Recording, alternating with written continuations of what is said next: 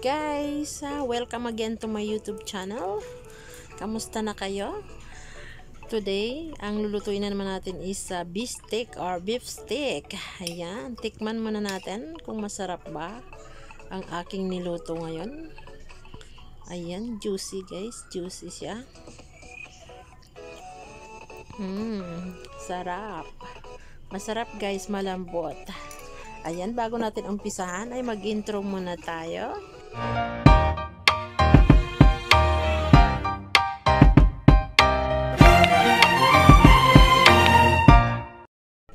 ito guys. Ito na ang gagamitin ko. Top round, 1 kilo uh, beef. Top round. Top round.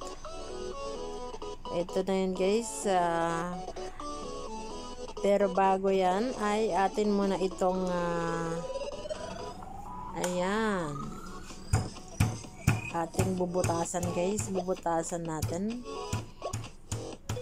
Pukpukin ko siya ng aking pambutas para manunuot yung ano yung marination niya. Sa loob manunuot yung lasa ng marination. Yan ayan okay na guys. Lagyan na natin ng mga paminta or a, a ground pepper, ground black pepper, soy sauce, then lemon juice. Okay. Ayan, ihalo ng mabuti para mag-corporate yung lasa, lasa ng uh, ingredients dyan sa ating uh, karne. Yan, ihalo ng mabuti. Okay guys, tapos imamarinate ko siya overnight. Mamarinate ko yan overnight. Kinabukasan, saka ko siya lulutuin. Para perfect yung lasa guys. Okay, i-refrigerate na lang natin.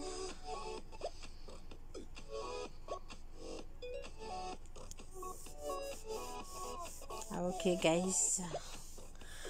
Yan, ipiprito ko yan siya ng buo. Pero pag ano na, pag tapos kong iprito ay saka ko siya i-slice ng maliliit. Ayan guys, marinate natin sa ano. I-refrigerate natin. Then, kinabukasan is ito na. Lulutuin ko na.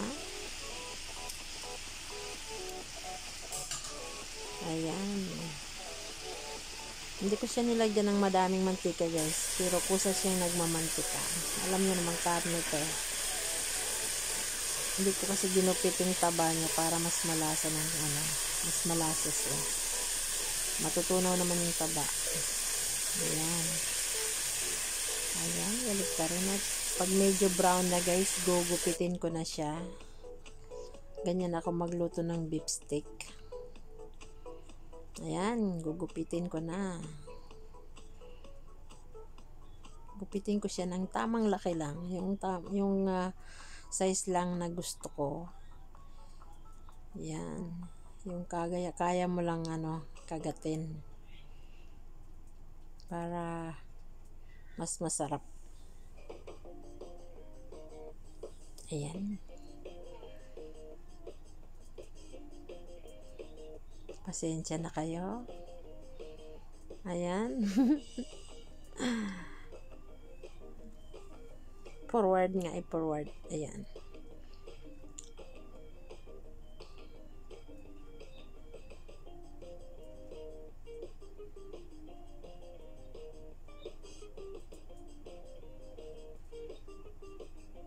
Ayan. Mabilis lang. Kasi masusunog na. Okay, ito naman. Punta na naman tayo sa paggigisa ng sibuyas at saka bawang. Okay, sa isang maliit na kaldero, igisa natin ang bawang at saka sibuyas.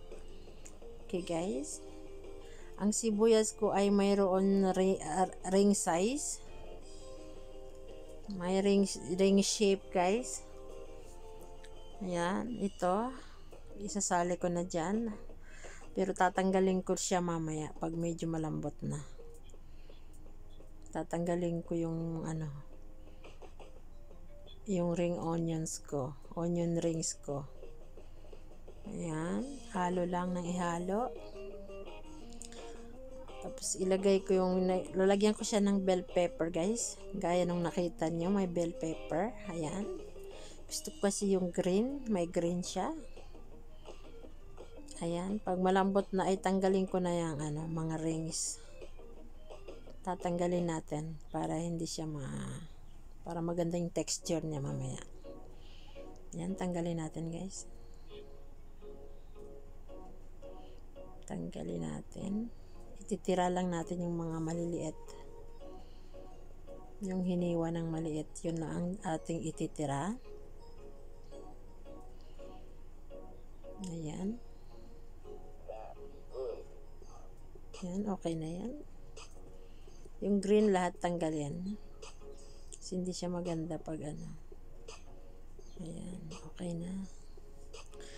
Yan, tas uh, ilalagay na natin yung ano, yung karne guys. Ilalagay na natin dyan. Okay, yan. Tapos yung pinag ano, yung sa marination pit water niya, ilagay rin natin yung ini-marinate sa ano sa sa beef kagabi pa ay yan ang ilalagay natin. Tapos i-degrease ko din yung ano yung kawali. Tapos ilalagay ko rin yung tubig niya dyan para yung lasa buo. Mapupunta lahat yung lasa sa karne. Ayan guys. Ayan lagay natin. Okay yan, yan ang Pinoy guys. Iinumin pati yung hinugasan. Pinaghugasan, iinumin. Ayan. Pero masarap yun guys. Hindi yun madumi, di ba? Ayan guys. Ihahalo natin. Ayan. Pero kung gusto, kung may, ang sa tingin mo ay sa konti yung tubig, ay pwede mo siyang dagdagan guys. Nasa ano mo na lang yun kung uh, sa palagay mo hindi siya lalambot sa ganyang tubig ay pwede mo siyang dagdagan. Ayan nilagyan, lalagyan ko pa siya ng ground pepper. Ayan. Tsaka ano lalagyan pa rin siya ng uh, garlic powder at saka sugar. Lagyan natin siya ng sugar guys. Medyo matam yun na mistamis Tikman lang, tikman mo. Isang, uh, isang kutsarang malaki na sugar. At konting asin. Ayun.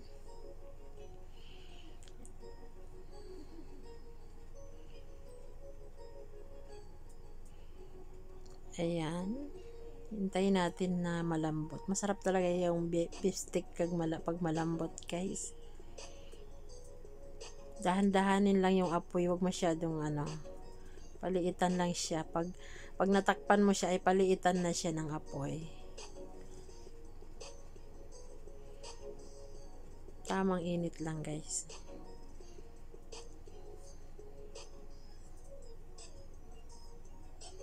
Yan. Okay na yan. Paliitan lang natin ang apoy.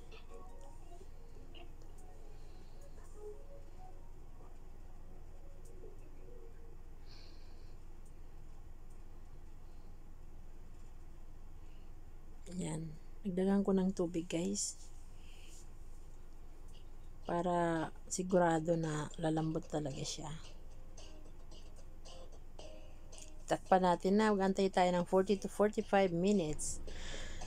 Ayan guys. Ito na yon lumapot na siya hindi wala na wala ng tubig kaya pwede ko nang ilagay yung sibuyas Tinang, eh, pinatay ko na yung apoy nilagay ko ng sibuyas sibuyas para Ayan.